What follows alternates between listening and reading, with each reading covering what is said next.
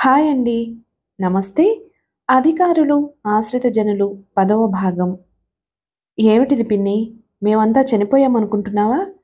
మంచంపై పడుకుని బాధపడుతున్న దేనురాలి వంక చూసింది. ఇన్నాళ్ళు అన్నీ తనలో తాను మింగింది. ఈనాడు బలహీనురాలయ్యిందామే. ఎవరున్నారమ్మా? ఉన్నవారు చేసిన ఉపకారం ఇంత అంతా కాదు. మీరంతా భర్తలున్నవారు పతివ్రతలు. మాలాంటి వారము ఎప్పుడూ పరాయి పురుషుల్నే కోరతాము. మేమిలా దిక్కులేని చావే చావాలి. కన్నీరు ఆగకుండా ప్రవహిస్తుంది. ఎవరన్నారు పిన్ని? ఇప్పుడు మీరు దుఃఖించరాదు. ఇంకెవరన్నారు తల్లి? ఇంద్రుడు చంద్రుడు అంటూ పొగిడి మీ బాబాయ్ మనసులో విషబీజాలు నాటినాడు మీ నాన్న. ఆయనకు నేనేం పాపం చేశాను? అబద్ధం ఆడి లంచాలు పుచ్చుకున్నాడు. తాత్కాలికంగా అవి జయించిన అమ్మా ఆ పాపం శాపమై జీవితాంతం వెంబడిస్తుంది. అమ్మా నర్సులు వచ్చి ఆమెను లేబర్ రూంలోకి తీసుకువెళ్ళారు చంద్రకళ ఒక్కొక్క మాట ఆమె హృదయంపై ముద్రించబడి రొదపెట్టసాగాయి. వెంటనే అత్తగారికి ఫోన్ చేసింది. అటు నుండి యాదగిరి గారికి చేసింది. అతను జిల్లా హెడ్ క్వార్టర్స్కి వెళ్ళాడు అని చెప్పారు. తిరిగి వచ్చింది. ఈసారి ఆమెను స్వార్థం జయించలేకపోయింది. నిండుగా ఒక యువతి జీవితం నాశనమవుతుంటే చూస్తూ ఊరుకోలేకపోయింది. ఆయాసపడుతూ వచ్చే అత్తగారిని కౌగలించుకుని బావురుమంది. ఏమైంది? కళకెట్లుందే బాబాయ్ ఎక్కడా? కోడల్ని పట్టుకుని అడిగిందామె బాబాయి అలిగారత్తయ్యా. తనకు తెలిసినంత వరకు భార్యాభర్తల మధ్య తలెత్తిన భేదాభిప్రాయాలు వివరించింది. అయ్యో నడమంత్రాన వీడికేం బుద్ధి పుట్టిందే? నా పుట్టింటి దీపం నిలుస్తుంది అని నే సంబరపడుతుంటే ఆమె కంట నీరు పెట్టుకుంది. ఇరువురు ఆమె సుఖంగా ప్రసవించాలి అని ప్రార్థనలు చేయటం తప్ప ఏమీ చేయలేకపోయారు. నాలుగు రోజుల అనంతరం జిల్లా హెడ్ క్వార్టర్స్ వదిలి హైదరాబాద్లో ఉన్న తన ఇంటికి వచ్చాడు గిరి. ఇల్లంతా నిశ్శబ్దంగా వస్తువులన్నీ దుమ్ము పట్టినట్లున్నాయి భార్య లేదని స్పష్టంగా తెలిసిపోయింది. నౌకరొచ్చి అతని బ్యాగు వైగాము లోపల పెట్టాడు. ఎన్నడూ అతనితో మాట్లాడని వంట మనిషి కాఫీ తీసుకుని వచ్చింది. కాఫీ ఇచ్చి కూడా కదలలేదు. ఏమైనా వస్తువులు కావాలా? లేదయ్య గారు మీ మేనలుడు ఫోన్ చేయలేదా? అమ్మగారు జనాన ఆసుపత్రిలో ప్రసవించారు. మగపిల్లాడు. అతని అంతరంగం ఆనందంతో లేవబోయింది. వెంటనే నవ్వుతున్న పాణి అతని కనుల్లో మెదిలాడు. చి అతని సంతానం కోసం తను సంతోషపడడం దేనికి? మీరు అంత అన్యాయంగా ఆలోచించటం మంచిది కాదు. పది సంవత్సరాల నుండి మీ ఉప్పు తింటున్నాను బాబు. సాహసించి ఈ మాట చెప్తున్నాను. అమ్మగారు నిప్పులాంటి మనిషి బాబు. అచ్చు బాబు మీలాగే ఉన్నాడు. ఇదివరకే ఆమె చాలా తీసిపోయింది. ఇప్పుడు మీరు ఆలసించితే మరీ ప్రమాదం. మా విషయాల్లో పనివారి జోక్యం అనవసరం. అతని మనసంతా చికాగ్గా ఉంది. తప్పు చేస్తున్నానా? అని బాధపడసాగాడు. ప్రతి పని అతనికి ఎదురు తిరిగింది. రెండు రోజుల క్రితం జరిగిన మీటింగ్లో అందరూ ప్రశ్నించేవారే. అటు నుండి కలెక్టర్ పైన అనవసరంగా నిందారోపణ గావించినందుకు ప్రభుత్వం నుండి ఎక్స్ప్లెనేషన్ వచ్చింది. ఎంతో మందిని ఇతర జిల్లాల వారిని ట్రాన్స్ఫర్ చేశాడు. తన బంధువులకి సదుపాయాలు చేసుకున్నారు. వారికి లేని బాధ తనకు దేనికి? నాగరాజ్ అన్నట్లు తను అందరితో చనువుగా మాట్లాడి ఆపద కొని తెచ్చుకుంటున్నానా? ఆత్మ విమర్శకు మనసు అంగీకరించలేదు. తలపట్టుకుని లేచి బీరువా తీశాడు. బ్లాక్ అండ్ వైట్ విస్కీ గ్లాస్లోకి వంపాడు. ఒక సోడా బుడ్డి కొట్టి దానిలో పోసి నెమ్మదిగా తాగబోయి గడగడా తాగేశాడు. అలాగే మరింత మరింత. అలవాటు లేనిది మొదట చేదుగా అనిపించింది. మరి కాసేపట్లోనే ఏదో లోకాలకు తేలిపోతున్నట్లుగా ఫీల్ అయ్యాడు. అంతనిషాలోనూ అతనికి భయం పట్టుకుంది. నౌకర్లు చూస్తే వెంటనే తలుపులు మూసుకున్నాడు. అతనికి మనశ్శాంతి లభించే మార్గం గోచరించింది. పాపపు ముద్ద చంద్రకళను ఇంట్లో నుంచి పంపించేయాలని తలచినాడు. ఫోను గణగణమంది. లేచి బలవంతంగా ఎత్తాడు. హలో నేను? ఏమిటండి గిరిగారు? ఇది మీ సొంత వ్యాపారం అనుకున్నారా? ప్రభుత్వం నడిపే ఇక వినదలుచుకోలేదు. వెంటనే ఫోన్ పెట్టేశాడు. School building contractor Reddy. అతని బావమరుదులు తీసుకుని ఓవర్సీర్లకు లంచం పెట్టి సిమెంటుకు బదులు మట్టి వాడారట. ఓవర్సీర్కు ఎక్స్ప్లెనేషన్ ఇవ్వాలి. మరో గ్లాస్ ఒంపుకున్నాడు. అది సగం తాగే లోపలే స్పృహను కోల్పోయాడు. మనిషి విచిత్ర స్వభావం గలవాడు. ఒక పొరపాటుని తరచి అంగీకరించడు. దాన్ని కప్పివేయటానికి అనేకమైన పొరపాట్లు చేస్తాడు. గిరిగారి విషయం అంతే అయింది. ఆశ్రిత జనుల మొరాలకించి ఎంతో ప్రయత్నం చేసి మాధవరావు గారిని ట్రాన్స్ఫర్ చేయించాడు. న్యాయం గుడ్డిదనే నమ్మినాడు గాని నిద్రపోతుంది అని నమ్మలేదు. నిద్రపోయింది ఎప్పుడైనా లేవచ్చు. ఆత్మాభిమానం గల మాధవరావు రిట్ పెట్టాడు. పరిశీలన మీదట తప్పు గిరిగారి నెత్తిన రుద్ది ప్లానింగ్ మినిస్టర్ నానా చీవాట్లు పెట్టాడు. సారీ అని తను ఎందుకు తొందరపడ్డాడో ఆలోచించి మరలా అలాంటి అవకాశం రాకుండా చేసుకుంటే బావుండును. అతను నెత్తిన ఏం శనుందో అతను పదవిలోకి వచ్చాక చేసిన ట్రాన్స్ఫర్లన్నీ అన్యాయంగా కక్షతో చేసినవి అని నిరూపించబడ్డాయి. ఎందుకిలా జరిగింది? ఎందుకు? జవాబుగా అతని కన్నులు మూతలు పడ్డాయి. గట్టిగా తలుపులు బాదిన చప్పుడు. కళా కాదు నిజమే. అతను కళ్ళు విప్పి చూశాడు. వాస్తవం గ్రహించాడు. తల దిమ్ముగా ఉంది. గిరి యాదగిరి! అక్కగారి గొంతు ఆదుర్దాగా వినిపిస్తుంది. త్వరగా లేచి సీసాలు బీరువాలో దాచాడు. బల్ల సర్దేసి తలుపులు తీశాడు. ఆమె ప్రాణాలు కుదుటపడినట్లుగా తేలికగా నీటొచ్చింది. ఎప్పుడొచ్చావక్కయ్యా సహజంగా ప్రశ్నించిన అతని కంఠంలో వణుకు కనిపించింది. అరగంటకు పైనే అయింది. ఆవిడ కుర్చీలో కూర్చుంది.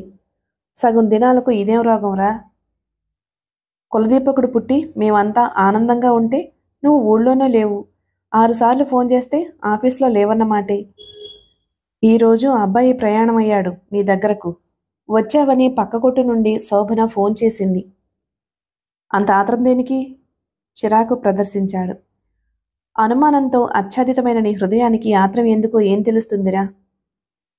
ఆ పిల్ల అంతకంటే ముండిది. ఒక్కత్తి వెళ్ళి ఆసుపత్రిలో చేరింది. ఏమన్నా అయితే అయితేనే ఇదివరకు ఒకసారి భార్య మరణిస్తే సమాధి చేయలేదు. ఈమెను అలాగే చేసేవాణ్ణి. నిర్లక్ష్యంగా ఉంది జవాబు. యాదగిరి పిచ్చిగా మాట్లాడకు. నేను చెప్పే మాటలు విను. ఒకసారి బాబుని చూడు. అలమటించిపోయే ఆ ఇల్లాల్ని చూడు. క్షమించక్కయ్యా. నా వ్యక్తిగత జీవితంలో మీ జోక్యం అనవసరం. నా భార్యను మన్నించే విశాల భావాలు కలిగిన నాడు నా అంతట నేనే వస్తాను. మీరెవ్వరూ చెప్పొద్దు. మేడ దిగి చరచరా వెళ్ళిపోయాడు. అతను సరాసరి శ్రీ వెంకటేశ్వర అండ్ కంపెనీకి వెళ్ళాడు. అది ఈ మధ్య నలుగురు వాటాదారులుగా చేరి గారేజ్ తీశారు. నాయుడు కొడుకు గిరి శాంతిలాల్ అనే మార్వాడి సేటు గంగాధర్ అనే ఇంజనీరు అతన్ని చూసి బ్లూ నిక్కర్ వేసుకుని పనివారితో కలిసి పనిచేస్తున్న గంగాధర్ వచ్చి నమస్కరించాడు. ఎలా ఉంది గంగాధర్ గారు? వెళ్ళి ఒక మూలకు కూర్చున్నాడు. వర్కర్స్ పనిచేసే వద్ద బయలుదేరే స్పార్క్లింగ్స్ అతన్ని నిల్చొనియటం లేదు. అంత వెలుగును అతను భరించలేకుండా ఉన్నాడు. ఏముందండి? వీధిలో దుకాణమంటూ తీశాక అన్నీ గొడవలే అన్ని రకాల మిషనరీ ఉంచాలి. ఒక్కరిని వెనక్కి తిప్పితే అందరూ పోతారు. మరో లక్ష రూపాయలైతే నడిచేటట్టుంది. అది రెండు సంవత్సరాల లాభాలు ఆశించకూడదు. లాభాల సంగతి అటుంచండి మరో లక్ష ఎలా తేవాలి? వ్యాపారం అన్నాక అలాంటి ప్రశ్నలకు తావే ఉండొద్దు. నిన్న నాయుడు ఇలాగే మాట్లాడి తన పెట్టుబడి వాపసు ఇవ్వమని తీసుకున్నాడు. శాంతిలాల్ మహా కోపంగా ఉన్నాడు. మీ సంగతి తెలిస్తే కంపెనీ మూతవేయటమో కొత్త వాటాదారులను చేర్చటమో జరుగుతుంది. నిర్మోహమాటంగా చెప్పాడు. ఏ? పాతవారుండగా కొత్తవారిని వాటాదారులుగా చేర్చుకుంటే ఏ? చేర్చుకోవచ్చు. సగం భాగస్థుడు శాంతిలాల్ ఇష్టపడడం లేదు. భాగస్థులు ఎక్కువైతే లేనిపోని గొడవలు. మరి ఇప్పుడు ఏం చేయమంటారు? గిరిగారికి ఏమీ తోచలేదు. మరో పాతిక వేలు పెట్టుబడో లేక విరమించుకోవడమో ఆలోచించుకోండి. నేనే సాయంత్రం అలా వద్దామనుకున్నాను. తీరికేది? మీరంతా అజమాయిషీకి వచ్చేవారే. ఏదో జర్మన్ నుండి వచ్చినట్లుంది. అతను వెళ్ళిపోయాడు. అతను మొదట చూపిన వినయ విధేయతలు ఎక్కడికి వెళ్ళాయో అర్థం కాలేదు.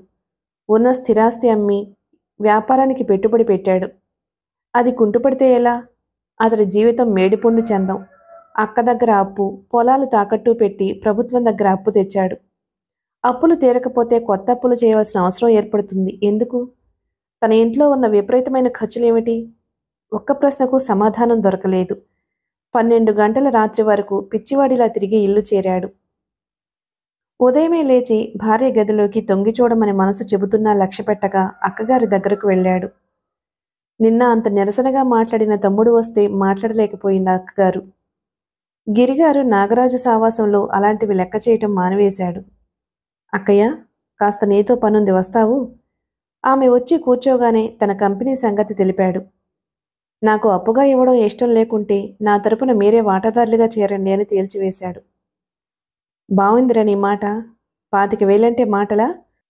మీ బావగారు దస్త్రాలు తప్పితే నాకు నగదేమిచ్చారని ఇంకా ఇచ్చిపుచ్చుకోవడాలు జరుగుతూనే ఉండేను. అంత మొత్తం ఎలా తేను? అన్నది. మొదట అలాగే ఉంది అని చెప్పలేక. ఆమె మరీ అంత అమాయకురాలు ఏమీ కాదు. అలా అయితే భర్త పోయిన మరు సంవత్సరమే చెప్పపుచ్చుకునేది ఆమె భావం అతనికి తెలుసు. ఆ అబ్బాయితో సంప్రదించు నాకు వేరే మార్గం కనబడలేదు. పాతిక వేలు నీ అంతటి నువ్వు అడిగేవాడువు. నాలుగు వేలకు మధ్యవర్తిని పంపించావే? అతను తెల్లమోహం వేశాడు. గుమ్మం అవతల నిలబడ్డ శోభను గుండె గొప్పగొప్పలాడింది మ్లానమైన ఆమె ముఖం అప్పుడు చూస్తే నాగరాజు గుండెలు అవిసిపోయేవి. నాలుగు వేలేమిటి? మా శని అబద్ధం ఆడి అయ్యకిప్పించలేదు కదా.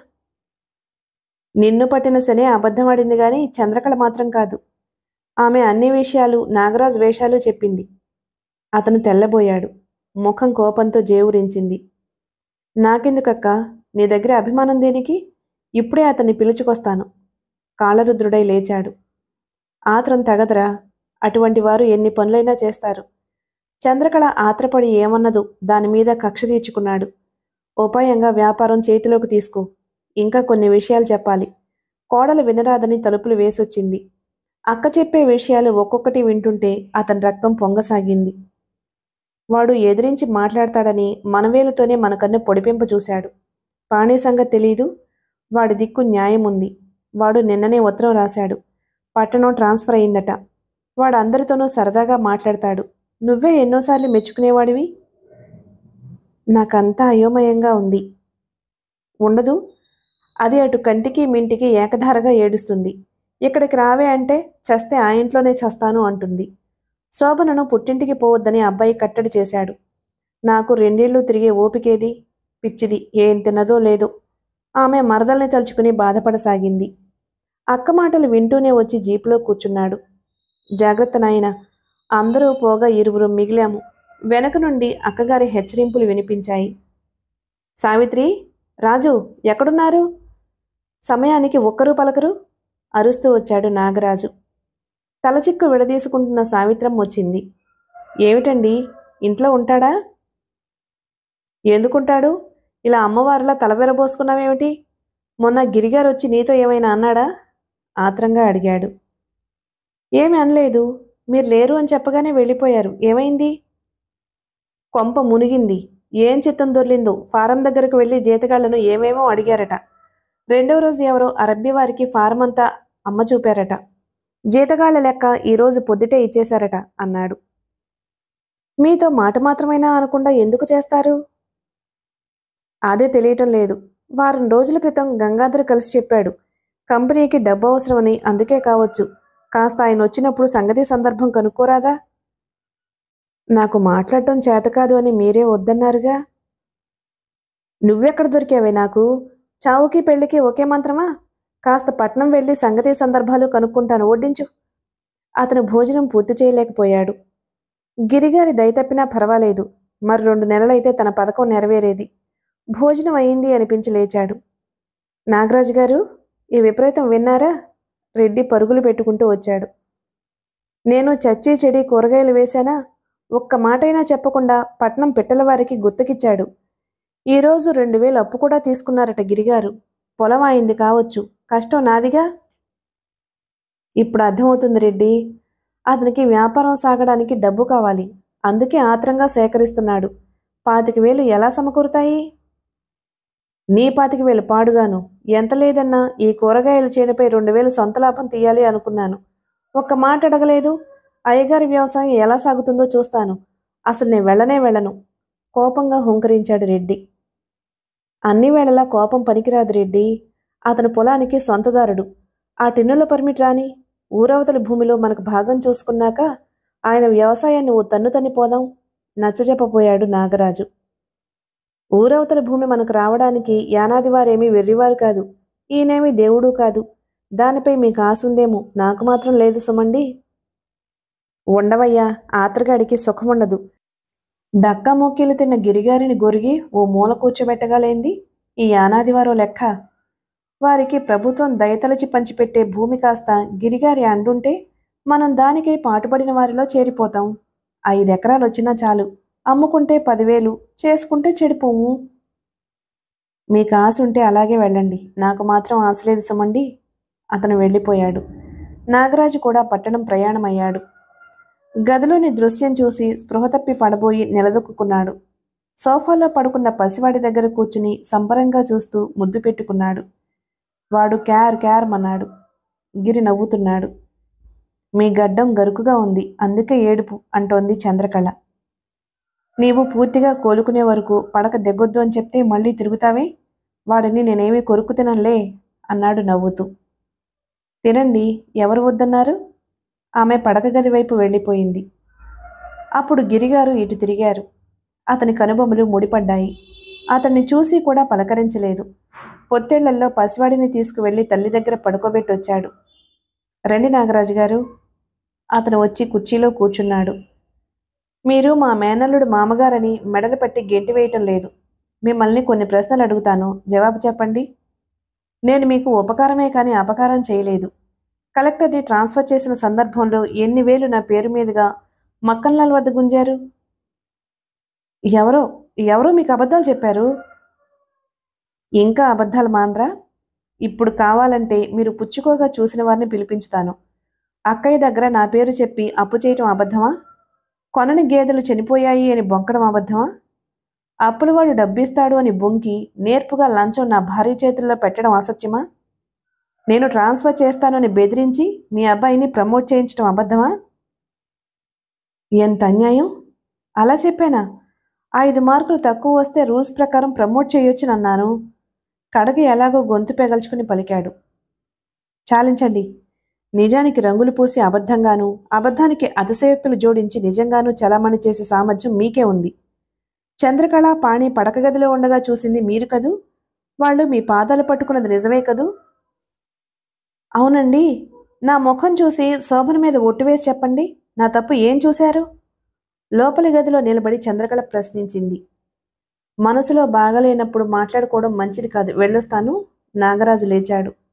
ఏ భూతమో దెయ్యమో వచ్చి భార్యాభర్తలు మింగేస్తే బాగుండు అని అతనికి. మనుషులు మంచివారు కానప్పుడు మాట్లాడుకోవడం మంచిది కాదనండి. మీరు ఆ ఫామ్కి వెళ్ళే ఉంటారు. అమ్మేశాను. రెడ్డి రావాల్సిన అవసరం లేదు. తన ప్రభుత్వపు నౌకరీ చేసుకోమనండి. ఇద్దరూ కలిసి నాకు బాగా నామాలు పెట్టారు. అది సహించొచ్చు. ఇంత అన్యాయంగా ప్రవర్తించటమా? గిరిగారు ఏసడించారు. నాగరాజు తల వంచుకుని బయలుదేరాడు. నాతో ఆడితే ఆడారు. ఇలాంటి నాటకం మరి ఎవ్వరితోనూ ఆడకండి. ప్రమాదం. వెళ్ళిరండి. నాగరాజు హృదయం కుమ్మరాములా ఉడకసాగింది. అటు నుండి సరాసరి బస్ ఎక్కి ఊరికి వెళ్ళాడు. రెడ్డి దగ్గరకు వెళ్ళి జరిగిన విషయాలు చెప్పాడు. ఇరువురు ఇష్టం వచ్చినని తిట్లు తిట్టారు. అయినవాడితో కానివాడితో గిరిగారి విషయాలే చర్చించేవారు. ఆ రోజు నాగరాజు బయటకు వెళ్దామని బయలుదేరేసరికి ఓ ఆచార్లు వచ్చాడు చైర్మన్ మీ బంధువట? కాస్త మా అబ్బాయి ఈ విషయం చెవిన వేస్తారా? మొదట ఐదు వందల రూపాయలు లంచం ఇస్తారా? నాగరాజు తిరిగి అడిగాడు. అదేం మాట? ధర్మప్రభువులు ఎవరయ్యా ధర్మప్రభువులు మొదట ఆయన నోట్ల కట్ట కంటపడిందే మాట్లాడేవాడు కాదు. ఇప్పుడు మరీను? ఒక కొడుకు పుట్టాడు. ప్రపంచాన్నంతా దోచిపెట్టాలి అనే తాపత్రయం. ఏ మందలో కట్టినా ఆయన మందలో ఈనిందేగా అవునండోయ్ ఎవరో అన్నారు. ఆయన భార్యను అనుమానిస్తాడటగా? మీ పిచ్చి గోలా ఆరాధిస్తాడయ్యా తండ్రి ఆరాధిస్తాడు. నా తెలివితో నలుగురిని కంటే అని ఓ వంశోద్ధారకుణ్ణి కన్నదిగా పెళ్ళాం.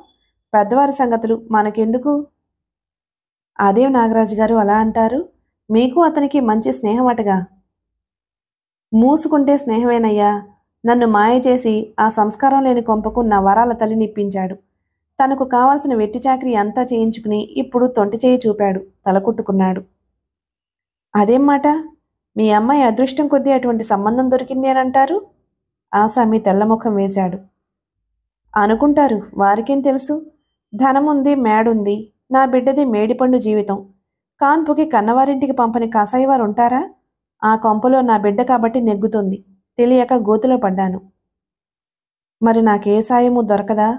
నిరాశగా చూశాడు. ఓ ఐదు వందలు లంచం పట్టుకుని ఆ పాణిగాడి ద్వారా పెళ్ళాన్ని కలుసుకోండి. పని సానుకూల పడుతుంది. అతను వెళ్ళిపోయాడు. నాగరాజు హృదయభారం ఆవగించంత తగ్గింది. మరో రోజు శివాలయం దగ్గర కూర్చున్నాడు. ఈ మధ్య పని లేదు. గేదెల బేరంలో గెలవలేకపోయాడు. ట్రాన్స్ఫర్ చేయించేదో అపాయింట్మెంట్ చేయించేదో పర్మిట్లు ఇప్పించడము కాంట్రాక్ట్ ఇప్పించడము అధికారుల దగ్గర తిరిగేవాడు. ఇటు ప్రజాప్రతినిధి గిరిగారితో కయ్యం అటు ప్రభుత్వ ప్రతినిధి మాధవరావుతో వైరం ఏటూ తోచదు. నమస్కారం అండోయ్! మీరు ఈ వేళప్పుడు ఇక్కడ కనిపించడం చిత్రంగా ఉందే? అటు చైర్మన్ గారు అలా తెల్లబోతారే? జిల్లా పరిషత్ అధ్యక్షుడు లేడు. ఆయన కొడుకును ఉయ్యాల్లో వేస్తున్నారు. ఒక బడిపంతులు ఎగతాళి చేశాడు. అయ్యా నమస్కారం. జిల్లా బడిలో పనిచేసేవాడివి. కట్నాలు కానుకలతో నువ్వెళ్ళు. నాకేం పట్టింది? ఉడుక్కున్నాడు. మేం వెళ్ళే సంగతి అటుంచండి. వారానికి ఏడు రోజులు వారింట్లోనే కదా ఉందరు? అందుకని అడిగాను. గొప్ప పని చేశారు. వారింట్లో ఉంటే మరీ మాకు కడుపు లేదా? అవసరాలు తీరేదాకా అయ్యా అయ్యా అంటే వెళ్ళాను. ఇప్పుడు అతనే పొమ్మన్నాడు. అందుకే కాలమిలా ఇలా తగలబడింది. నాగరాజు విచారించాడు. అంత క్లోజ్గా ఉండేవారుగా? అసలు ఏం జరిగింది? ఏముందయ్యా? అప్పుడు స్వయంగా అప్పు చేయటానికి నా మోషి. నాలాంటి వారిని పావుగా వాడి అప్పు చేశాడు. అది తీర్చమంటే అధికారులు కలక. వారిని తృప్తిపరిచే ధనం ఎక్కడుంది? ఆయనకేమండి లక్షాధికారి వింతగా చూశాడా మానవుడు. లక్షాధికారా? భిక్షాధికారా? అప్పులు పుట్టించేవాడు అక్షయపాత్ర లాంటివాడు నాలాంటి తెలివిలేని దద్దం ఉంటే అంత గొప్పే. రేపు రేపు తెలుస్తుంది. అంత మేడిపండు వాటమేనా? మరి ఇంకేమిటనుకున్నారు? నా దగ్గర ఏముంది? అప్పిచ్చేవాడు ఎంతకనేస్తాడు నాగరాజు నాలుకకు నరమున్నదా? ఎటు తిరిగితే అటు మాట్లాడడమే. లాభాలు ఆశించిన రెడ్డి అంతరంగం కూడా కుమ్మరాములా కుమిలిపోతుంది. గట్టిగా మాట్లాడితే తన ఉద్యోగం పోతుంది. నాగరాజు అంత నోరు చేయకపోయినా గుసగుసగా అదే భావం వచ్చేలా ప్రచారం చేయసాగాడు. నాగరాజు ఆనందంగా రావడం చూసి రెడ్డి ఎదురేగి ఆహ్వానించాడు. ఏం గురు చాలా సంతోషంగా ఉన్నారు? ఏముంది? మన సాయం లేనిది పనిచేస్తానని తెగ మురిసిపోయాడా? నాగరాజు అంటే ఇప్పటికైనా తెలిసొస్తే బావుణ్ణు హహహా. పడి పడి నవ్వసాగాడు నాగరాజు. సంగతేమిటో చెప్పండి. తరువాత అందరం కలిసి నవ్వుదాం రెడ్డి విసుక్కున్నాడు. అప్పుడు అనుభూతి కలగొద్దోయ్. ఆ? నవ్వును ఆపాడు. అయ్యగారు వాడే యాదగిరిగాడు బోర్లా పడ్డాడోయ్. లేవనియొద్దు. డబ్బు ఆలస్యమైందని వాటా వదలగొట్టేశాడు శాంతిలాల్. వాడిని బ్రతిమలాడి భంగపడ్డాడు. తన పేరు మీదుగా భూమి అడ్డువేసి ఆరుట్లు పడి కాంట్రాక్ట్ నాకు ఇప్పించాడు నేనైతే ఎలాగో తంటాలు పడి బిల్లు శాంక్షన్ చేయించుకునేవాణ్ణి. మీ పేరున్నది కాంట్రాక్టు. గోడలప్పుడే కూలిపోతున్నాయి అని అందరూ గోల చేస్తే అభిమానం కొద్దీ కట్టిస్తున్నాడు. ఇల్లమ్మి వ్యాపారంలో పెట్టిన పాతిక వెళ్ళు గోవింద. మళ్ళీ నవ్వాడు. తర్వాతైనా బిల్లొస్తుంది కదా? రెడ్డి విస్తుపోయి చూశాడు. ఎంతొస్తుందో ఈ పదివేలు ఎన్నడైనా కట్టించిన ముఖమా? నేను నలభైకి పెద్ద లారీ వేసుకు తేవాల్సి వస్తే ఎంతో నష్టం వచ్చేది. అలాంటిది అరవై పెడుతున్నాడు. సొంతిల్లు కట్టిస్తున్నాడు. ఎంత దాకో నేను చూస్తాను. వాడికే పెద్దవారితో పరిచయం మళ్ళీ ఆరు నెలల్లో బాగుపడతాడు. అది కలలోని మాట. చూస్తూ ఉండండి. అడవులు పట్టకపోతే. మేసం మెలివేశాడు. రెడ్డి కూడా నవ్వుతూ శృతి కలిపాడు. అతని కుయుక్తులు తన మీద ప్రదర్శిస్తాడు అని అతను ఊహామాత్రంగానైనా ఆలోచన వస్తే నవ్వేవాడు కాదు. ఏమండి? తలుపు తీయండి. మీ పాదాలు పట్టుకుంటాను. బాబు కూడా ఏడుస్తున్నాడు. దీనంగా పిలిచింది చంద్రకళ. లోపల నుంచి ఎటువంటి సమాధానమూ రాలేదు. ఎందుకంత మౌనం వహించారు? పదవులు హోదాలు అనుకుని వాడితోడితో లోకం అనుకునేవారు? నా గొంతు ఎందుకు కోశారు? నన్ను ఏం చేస్తారు? మనిద్దరం కాదు. మనకు పసివాడున్నాడు. వాణ్ణేం చేస్తారు? ఈసారి సమాధానం రాలేదు. అర్ధగంట నుండి అరిచి చంద్రకళ గొంతు పూడుకుపోయింది. మీరు తలుపు వేసుకోండి. నేను నేను కూడా మేడ మీద నుండి దూకి చేస్తాను. తల్లి తండ్రి ఉండగానే ఇంత అందంగా ఉంది వాడి బ్రతుకు. వాడిని వేస్తున్నాను. నిజంగా ఒట్టు. ఈసారి తలుపులు తెరుచుకున్నాయి. పీక్కుపోయిన ముఖం లోతుకుపోయిన కళ్ళతో నిల్చున్నాడు యాదగిరి. ఏమిటే? మీరు కూడా నన్ను శాంతంగా ఉండనివ్వరా? మీకు మా వల్ల అశాంతి కలిగితే కనిపించని చోటుకు వెళ్తాం. కళ నన్ను అర్థం చేసుకో. అతని కంఠం దీనంగా ఉంది. తొమ్మిది నెలల బాబు తండ్రి మీదకి దూకాడు. వాడిని ఎత్తుకుని విచారవాదుడై పచారులు చేయసాగాడు. అసలు ఏమైంది? ఏమి చెప్పరేమిటి? అడిగింది భార్య. ఏం జరిగిందని చెప్పను కళ. మీకు అన్యాయం జరిగింది అన్నాడు బాధగా. మీరు అలా చెబితే అర్థం చేసుకునే తెలివితేటలు నాకు లేవండి. స్పష్టంగా చెప్పండి. నేను ఈరోజు రాజీనామా పత్రం దాఖలా చేశాను. అదొక తృప్తి. రాజీనామా? జిల్లా పరిషత్ అధ్యక్షత పదవికి రాజీనామా ఇచ్చారా? ఎందుకు చేశారు? ఆత్రంగా అడిగింది. పరువు కాపాడుకోవడం కోసం. అంతే కళ తన భుజం మీద నిద్రపోయిన కొడుకును పడుకోబెట్టాడు. తలుపులు మూసిరా. ఆమె అలాగే చేసింది. ఒకనాడు పాణి ఓ మాట చెప్పాడు. అది సువర్ణాక్షరాలతో లెక్కించుకోదగింది. ఎర్రగీత గీయవలసింది. ఒక పదవిని పొందడం గొప్ప కాదు. దాన్ని నిలుపుకోవడం గొప్పది. ఆ మాట నిజమని నేడు తెలుసుకున్నాను. జీవితంలో మనకు శత్రువులు ఎవ్వరూ లేరు. నా చెవులే నా చెవులే నాకు శత్రువులు. నిజం ఆవేశంగా అరిచాడు. ఏమండి మీకు మతి స్థిమితంగా ఉండే మాట్లాడుతున్నారా? చాలా స్థిమితంగా ఉండే మాట్లాడుతున్నాను కళ. నిజంగా అనుభవం మీద చెప్పే మాటలివి. అవతలి వారు అవసరాలు గడుపుకోవడానికి ఎన్నో చెప్తారు. అబద్ధాలు చెప్తారు. నిజాలు చెప్తారు. కల్పనలు చేస్తారు. అది వారిలో ఉండే చాతుర్యం. దాన్ని తెలుసుకోలేకపోయాను. వారు చెప్పిందే వేదమని నమ్మాను. కల్పించింది కటిక సత్యమని తలిచాను. వారి చేతిలో కీలుబొమ్మనయ్యాను. ఆడించినట్లుగా ఆడాను. ఫలితం? ప్రజలకు నా యందు విశ్వాసం తగ్గింది. వారికెందుకు? నా యందు నాకే విశ్వాసం తగ్గింది. వారు అవిశ్వాస తీర్మానం చేయదలిచారు. అన్నీ పోయినా అభిమానం పోని నేను ఆ విషయం తెలుసుకుని రాజీనామా ఇచ్చాను. అవిశ్వాస తీర్మానమా? మీ మీద ఎవరండి చేసేది? అపనమ్మకంగా చూసింది చంద్రకళ. చదువులు చదివి వేదికలెక్కి ఉపన్యాసం ఇవ్వలేకపోయినా మంచి చెడు నిర్ణయించలేనంత మూర్ఖురాలు కాదు. తన భర్త పట్ల అవిశ్వాసమా? అతను ప్రజానాయకుడయ్యాక పెద్దలు సంపాదించి పెట్టిన దాంట్లో నుంచే కరిగించి తరిగించేశాడు. అతను భూములు కొనలేదు బ్యాంకులో నిలవ ఉంచలేదు. తన పేరు కానీ తన కుమారుడి పేరు కానీ మేడలు మిద్దెలు కొనలేదు. తన ఒంటి నిండా బంగారు తొడుగు చేయించలేదు. ఆమె ఆలోచనలు అలా సాగుతున్నాయి. నిజమే కళ నేను విశ్వాసపాత్రుని కాను. నిజం నేను రికమెండ్ చేసిన కాంట్రాక్ట్స్ అన్నీ అడ్డదారులు పట్టాయి. ఒక్కరూ నేను నమ్మినట్లుగా పనిచేయలేదు. ఎవరికి జీవనోపాధి కల్పించినా వారు రెండు మూతల పాములై నన్నే కాటేయబోయారు. సర్వనాశనం అయింది అభిమానంతో ఉన్న డబ్బు కూడా మంచినీళ్ళలా గుప్పాను. పోనీలేండి అదృష్టం ఉంటే సంపాదించుకుంటాం. మన దగ్గర వస్తువులు పోయాయి కానీ అదృష్టం పోలేదుగా మీరు చింతించొద్దు. తన చేతనైనంత ఓదార్చే ప్రయత్నం అదృష్టమా? వెర్రిదానా అది మనకు దూరంగా ఎప్పుడో పారిపోయింది. గుప్పిడి మూసినంతసేపే రహస్యం. ఇప్పుడు నేను అధికారిని కాను ఆశ్రిత జనులు రారు. పీడ పోయిందిలేండి పెద్దవాళ్ళు వచ్చి ఏం ఉద్ధరిస్తారని వాళ్ళకి బదులు అప్పు వసూలు చేసేవారు వస్తారు అక్క ముందు ఎలా తలెత్తుకుని తిరిగేది? ఈ అవమానం కన్నా ఎవ్వరూ తెలియని చోటికి పారిపోతే? ఆమె మౌనంగా వింటూ నిలబడింది. అందరూ ఒకేలాగా ఉండరు. ఆయన చేత లాభం పొందిన వారు కొందరు వచ్చి పరామర్శించబోయారు. ఆయన లేడని జవాబు చెప్పి పంపారు. వారం రోజులకు కాస్త కోలుకుని కర్తవ్యం ఆలోచించాడు. అతనికి ఉన్న భూములు కౌలుకిచ్చి కూర్చుంటే చీకు చింత లేకుండా బ్రతకొచ్చు. కానీ అతని జీవితంలో ఆశాకిరణంలో ఓ అబ్బాయి ఉన్నాడు. వాడి భవిష్యత్తు ఆలోచించొద్దా? మేడలు మిద్దెలు సంపాదించకపోయినా అప్పులు మిగల్చవద్దన్న భావం అతనిలో బయలుదేరింది. వెంటనే లేచి గడ్డం గీసుకున్నాడు. స్నానాధికాలు ముగించి బయలుదేరాడు.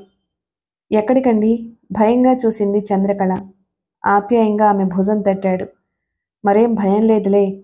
వారం రోజుల నుంచి పీడించిన ద్వైతీభావాలు ఓ దారి పెట్టాయి. విచారించవలసింది ఏమీ లేదు. కడకు బాబు జయించాడు. వాడి కోసమైనా బ్రతకాలి. అలా వెళ్ళి కొత్తగా వచ్చిన అధ్యక్షుడికి అభినందనలు తెలిపి ఒక రెడ్డి పోలీస్ డిపార్ట్మెంట్లో పనిచేస్తున్నాడు. అతను జీపు కావాలి అన్నాడు. ఆ విషయం కనుక్కుని వస్తాను. నమ్మలేకపోతున్నావు కదూ? అంత బలహీనుని కాను. అతను అన్నట్లే అంత బలహీనుడు కాదు. పలువురు పలు రకాలుగా ప్రశ్నించసాగారు. మొండి ధైర్యంగా జవాబులు చెబుతూ వారి హేళనాపూర్వకమైన చూపులు భరిస్తూ తన పని పూర్తి చేశాడు. జీపు బంగారము అమ్మి అక్కగారి అప్పు తీర్చాడు. గేదెలు అమ్మగా వచ్చిన డబ్బుతో చిల్లరప్పులు తీర్చాడు. ప్రభుత్వంతో లావాదేవీలన్నీ పూర్తి చేశాడు. ఒక రాత్రి ఎవ్వరికీ చెప్పకుండా తన పొలాల దగ్గర గల ఇల్లు చేరాడు. అక్కడ కొత్త జీవితం ప్రారంభమైంది. దాస దాసీజనం లేరు. కారు లేదు. ఆశ్రితజనుల ఆగమనం అంతకన్నా లేదు. ఇంటి పనులతో సంవత్సరపు కుర్రవాడితో సతమతమవుతుంది చంద్రకళ. తనని తాను మర్చిపోవడానికి జీతగాళ్ళలో ఒకడే పనిచేస్తున్నాడు యాదగిరి. అతనిలో ఒక్క ఆశ మాత్రం చావలేదు. తన సహాయంతో పైకొచ్చిన వారు తన ఇంట్లో నాలుగు రోజులు తేరగా తిని పనులు చేయించకపోయిన వారు సానుభూతి చూపుతూ సాయం చేస్తారో అని ఆశించాడు పాపం. అన్ని ఎదురు దెబ్బలు తగిలినా లోకం పోకడను అర్థం చేసుకోలేదా మనిషి? అదే విచిత్రం. బెల్లం ఉన్న చోట చీమలు అన్న సామెత ఊరికే పుట్టలేదు. ఈనాడు తనను తానే సంభాళించుకునే స్థితిలో లేని యాదగిరి మరింకొకరికేం సాయం చేయగలడు? అతనికి నిత్య నూతనమై భావించే విషయాలు ప్రజలకు ప్రభుత్వానికి పాతబడిపోయాయి. పొలాల నుండి వచ్చి భార్య అందించిన కాఫీ తీసుకున్నాడు. తప్పటడుగులు వేసే కొడుకు జాడ ఎక్కడా కనిపించలేదు. భార్యని ప్రశ్నించబోయాడు ఆమె ముందు చెప్పింది వాడికి జ్వరం తీవ్రంగా ఉంది ఆసుపత్రికి వెళ్ళాలి అన్నది. అతడు మౌనంగా ఆలోచించాడు.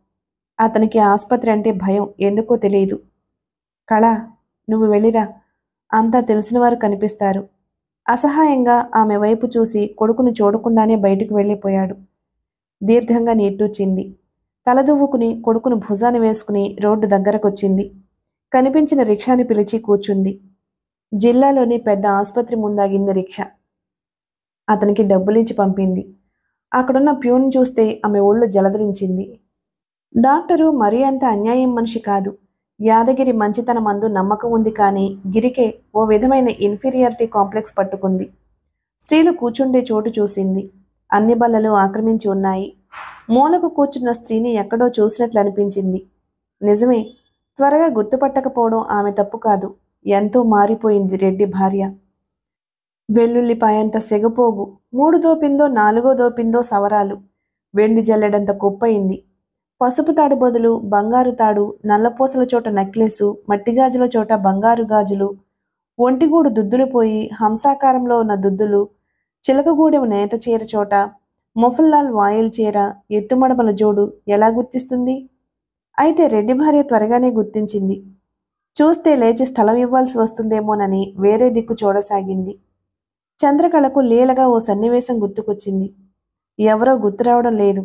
ఆశ్రిత జన్మై అస్మదీయులలో చేరిన వారే సత్యనారాయణ వ్రతం చేసుకుని గిరిగారిని రమ్మని ఒక్కటే పోరు పెట్టారు. అతను తీరదని భార్యను పంపాడు. చంద్రకళకు అక్కడి వారంతా కొత్త. ఎలా వెళ్ళాలి? ఎలా పలకరించాలి అనే దిగులు పట్టుకుంది. జీపు దిగుతూ ఉండగానే పది మంది స్త్రీలు ఎదురొచ్చారు ఆహ్వానించడానికి. ఒక్కరిని తాను ఎరగదు. తన భర్త పదవిని అందరూ ఎరుగుదురు కానీ తెలియదా అమాయకురాలికి? ఎవరిని ఎలా పలకరించాలో తెలియక నిలబడింది. అప్పుడు హడావిడిగా పైటి చెంగు దోపుకుంటూ పనంతా వదిలి పరిగెత్తుకొచ్చింది రెడ్డి భార్య. రండి గిరిగారు రాలేదా? ఆయనకు ఎన్ని పనులని? ఎవర్రా అక్కడ? పైనుండి కుర్చీ పట్టుకురండి. మనుషుల్ని అలా మింగేసేలా చూడకపోతే దారి వదలరు? అందరిపై విసుక్కుంటూ దారి తీసింది. కుర్చీలో కూర్చోవడానికి కాదు అందరూ నేల మీద ఉంటే తన ఒక్కత్తి కుర్చీలో కూర్చోవడం ఏమీ నచ్చలేదు. నేను కిందే కూర్చుంటాను. వెళ్ళి జంపకానాపై కూర్చుంది. చూశారా? ఆ గుణాలే వేరు. ఆయనే అనుకుంటే ఆయన కంటే నిరాడంబరీయమే మా వారు రోజు చెప్తూ ఉంటారు. దగ్గరే ఉండి కాఫీ పలహారము భోజనము చూసింది. ఆ రోజులు వేరు. నేడు పిల్లాన్ని ఎత్తుకుని నిల్చున్నాను అని స్థలం ఇవ్వకపోతే పోని పలకరించనైనా లేదు? గుర్తించినట్లుగా ముఖం పక్కకు తిప్పుకుంది. కొంచెం దూరంలో నిల్చున్న పాణి స్నేహితుడు ఆమెను గుర్తించాడు. ఆమె పడే అవస్థను గమనించాడు. అతను ముందుకు వచ్చి స్త్రీల వంక చూశాడు. చిరాగ్గా అన్నాడు. ఏం మనుషులమ్మా? తోటి స్త్రీ నిలబడింది అని తెలియదు కాస్త స్థలం ఇవ్వరాదు? రెడ్డి భార్య తప్పదన్నట్లు ఇటు చూసి కాస్త జరిగింది. మీరా నేను ఎవరో అనుకున్నాను. మీరు ఎక్కడికి ఎలా వచ్చారు? డాక్టర్ ఇంటికి రాడు? ఎందుకు రాడు? ఇంతమంది నిరాశ చెందుతారు అని నేనే పిలిపించలేదు. టపీమని జవాబిచ్చింది. ఇక్కడ ముళ్ళ మీద ఉన్నట్టుంది ఆమె పని. వెళితే పిల్లవాడి పరిస్థితి? అభిమానం పడితే పనులు సాగుతాయా? కూర్చుంది. ఆమెను అవమానం నుండి రక్షించడానికి వచ్చినట్లే డాక్టర్ బయటకు వచ్చాడు అతను అందరిలా కృతజ్ఞుడు కాలేకపోయాడు. రెండు మూడు సార్లు యాదగిరి ఇంటికొచ్చిన మనిషి మర్చిపోయేటంత గర్వమే రాలేదు. సరాసరి ఆమె ముందుకొచ్చాడు. మీరొచ్చారా? ఫోన్ చేస్తే సాయంత్రమే వచ్చేవాణ్ణిగా? యాదగిరి గారు బాగున్నారా అసలు బాబుకి ఏమిటి జబ్బు? ఆమె చెప్పింది అందరికీ మంటగా ఉంది. తాము క్యూలో విర్రిగా కూర్చున్నారా? రెడ్డి భార్యకు అదేమీ నచ్చలేదు. చింత చచ్చినా పులుపు చావలేదు అన్న సామెత గుర్తు చేసుకుంది. డాక్టర్ ఎవ్వరికీ భయపడలేదు. మందిచ్చి పంపించేశాడు. అదొక్కటే కాదు అలాంటి అవమానాలు ఎన్నో జరిగాయి. తన భర్త జీపుల్లో నవాబుల్లా ప్రయాణం చేసిన పెద్దలు నడుస్తూ దారిలో ఇల్లు పావనమవుతుంది అని భావించే జనం అతన్ని చూడగానే గుసగుసలు ప్రారంభిస్తారు. స్నేహితులు బంధువులు అందరూ ఒకే విధంగా ప్రవర్తించసాగారు. యాదగిరికి ఈ అవమానం సహించరాందయింది అందుకే పెండ్లి పేరంటాలకు ఉత్సవాలకు పోవడం మానివేయాలి అని తలచాడు. కాలం గడుస్తూనే ఉంది. దానికి మంచి చెడుతో అవసరం లేదు. ఎవరి కోసమూ ఆగదు. కొడుకుతో మాట్లాడుతూ కూర్చున్నాడు యాదగిరి. అతనికి మనశ్శాంతి లభించే మార్గం అదొక్కటే.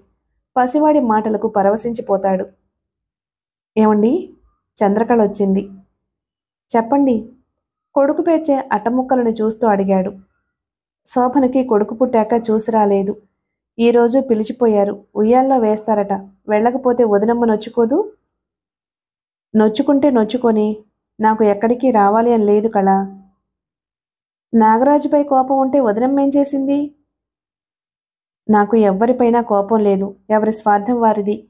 వారి అవసరాలు గడుపుకోవాలి అని ఎందరో ఎన్నో చెప్తారు. వాటికి ప్రాముఖ్యం ఇచ్చినవాడు నేను. నా బాధ నేను అనుభవిస్తాను. మీ మామయ్య ఓ సామెత చెప్పేవాడు గుర్తుందా? నీరసంగా నవ్వాడు. బక్క చిక్కావు నవాబు గారు అంటే తిండికి లేక బద్మాష్ అన్నాడట. తిండికి లేకపోయినా వాడి నవాబుగిరి పోలేదు. అలాగే పదవి వదిలినా పరువు పోనంటుంది. దయచేసి నన్ను బలవంతం చేయకు. నువ్వే చెప్పావుగా వేటకారాలు వేళాకోళాలు భరించలేనని కొన్నాళ్ళు మనం అందరికీ దూరంగా ఉండడమే మేలు. అతనన్నది నిజమేననిపించి మెదలకుండా ఊరుకుంది. మిగిలిన కథ తరువాయి భాగంలో విందాం. Please like and subscribe my channel. Thank you.